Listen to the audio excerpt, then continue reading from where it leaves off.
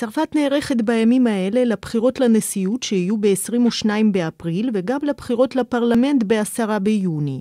פיליפ קרסנטי, סגן ראש העיר ניואי, הפרבר העשיר של פריז, רץ בבחירות לפרלמנט כמועמד עצמאי של ימין מרכז, מטעם הצרפתים החיים מחוץ למדינה.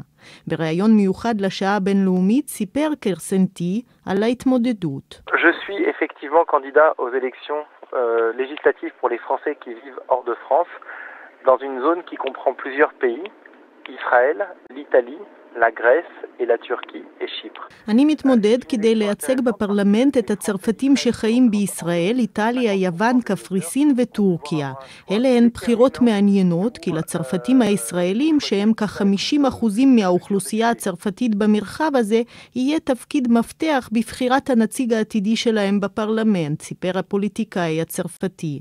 לדבריו, במסגרת מסע הבחירות שלו הוא עורך מפגשים עם אזרחי צרפת ברחבי ישראל, כדי לשכנע אותם לבוא להצביע.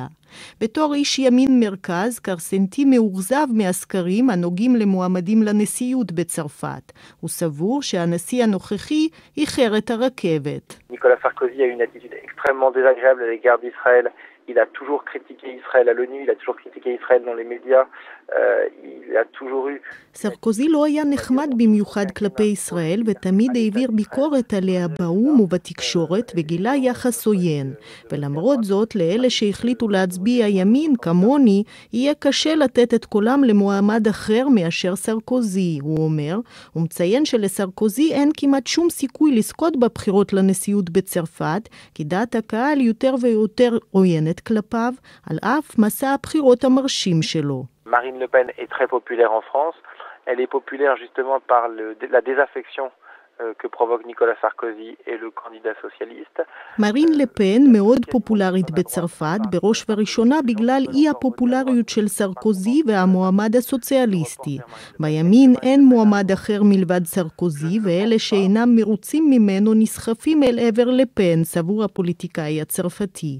הוא לא חושב שמרין לפן תגיע לסיבוב השני של הבחירות, אך שום דבר אינו בלתי אפשרי כלשונו בהתחשב במסע הבחירות המוצלח והפעיל שהיא מובילה ובסוגיות הכואבות שהיא מעלה בניגוד למועמדים אחרים.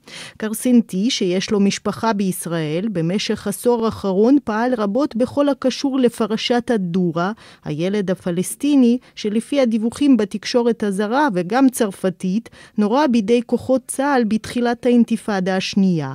הפרשה הזאת היא מזימת השקר הגדולה ביותר נגד ישראל, שביימו אותה בערוץ השני של הטלוויזיה הצרפתית, והיא עוד רחוקה מלהסתיים, מציין פיליפ קרסנטי.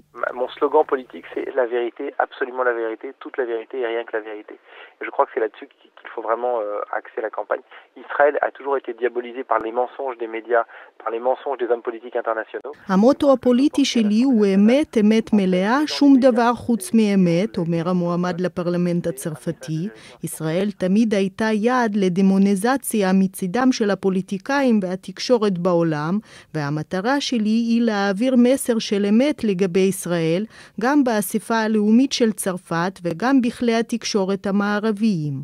לדברי קרסנטי, פרשת הדורה לא תסתיים כל עוד הטלוויזיה הצרפתית לא תכיר בסילוף, כל עוד המשפט בסוגיה הזאת נמשך בצרפת, כל עוד הממשלה הצרפתית לא תכיר בשקר, וכל עוד ממשלת ישראל לא תנקוט צעדים נגד כל מי שהיה לו חלק במזימה.